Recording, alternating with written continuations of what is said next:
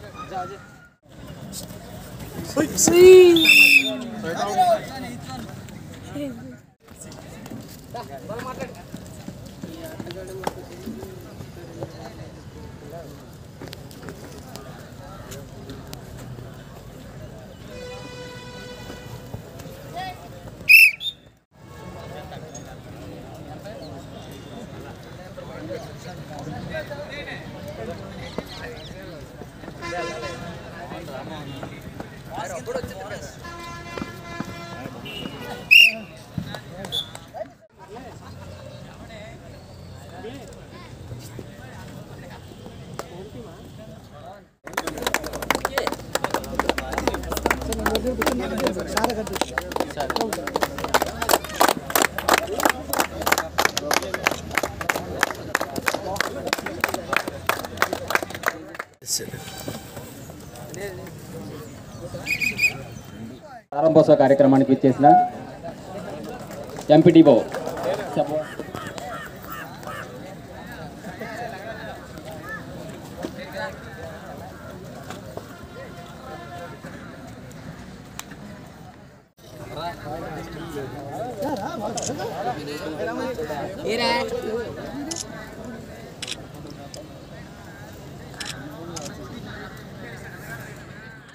మొత్తం యాభై మూడు టీంలు ఇవాళ రావడం జరిగింది.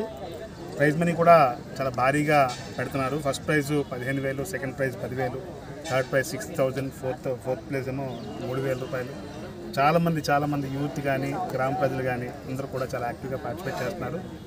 పాతికేయ సోదరులు కూడా బ్రహ్మాండంగా పార్టిసిపేట్ చేస్తున్నారు. ఇలాంటి కార్యక్రమంలో చాలా చాలా ఇంపార్టెన్స్ ఉన్నవి.